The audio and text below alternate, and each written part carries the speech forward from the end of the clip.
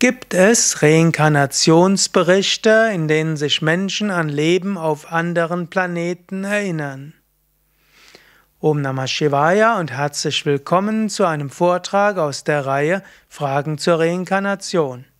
Und heute wurde mir diese Frage gestellt. Gibt es Reinkarnationsberichte, in denen sich Menschen an Leben auf anderen Planeten erinnern? Ich habe nicht die alle Reinkarnationsberichte gelesen. Ich habe mich mal eine Weile mit vielen Berichten beschäftigt, ganze Bücher gewälzt. Und tatsächlich gibt es manchmal Berichte, wo Menschen von einer Zivilisation sprechen, die es nicht auf diesem Planeten gegeben hat. Und entweder sie entstammen der Fantasie oder leben auf anderen Planeten.